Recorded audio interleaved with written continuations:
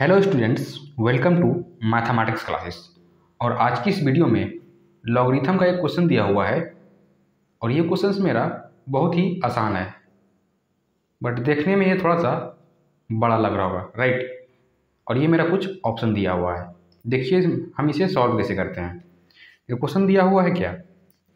Log base three और ये मेरा फोर दिया हुआ है। इंटू लॉग बेस में फोर है और ये मेरा फाइव है। इंटू लॉग बेस में फाइव और ये सिक्स है और इंटू इसी तरह से ये मेरा बेस में सिक्स हो गया, यहाँ पे सेवन है।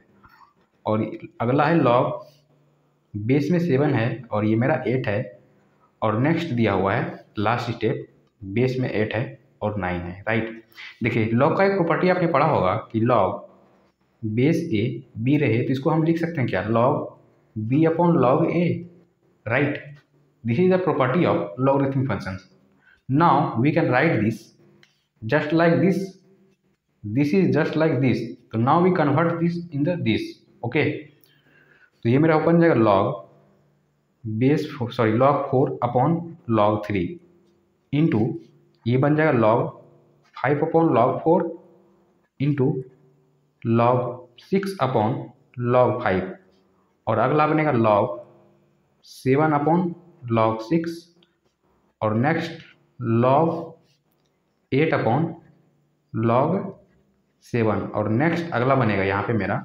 इसको थोड़ा सा हम यहाँ लिख देते हैं। तो log nine upon log eight okay देखिए लॉग फोर ऊपर भी है लॉग फोर नीचे भी है। तो ये मेरा कैंसिल होगा, इसको हमने कैंसिल किया। लॉग फाइव ऊपर भी है लॉग फाइव नीचे भी है, ये भी कैंसिल हुआ। तो लॉग सिक्स भी कैंसिल होगा लॉग सेवन भी कैंसिल होगा। और ऊपर लॉग एट है, नीचे भी लॉग एट है। तो इसमें मेरा इसमें बचा क्या?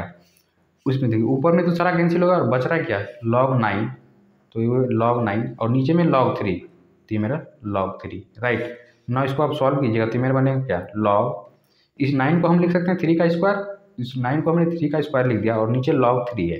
राइट ना लॉग का एक और प्रॉपर्टी आपने पढ़ा होगा कि लॉग ए पे पावर एम रहे। इसको हम लिख सकते हैं M log a, right? Now, this is just like this. तो now we convert in this this.